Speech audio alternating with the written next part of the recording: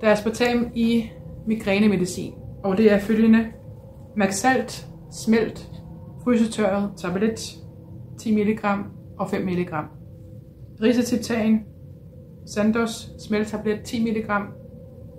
Risatriptan, Glenmark, tabletter 10 mg. Og i risatriptan, Mylan, smeltetabletter 10 mg. Der er aspartam i det her migrænemedicin. Der er også medicin med aspartam altså mange andre.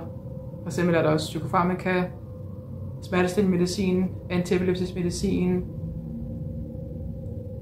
i kemoterapi også.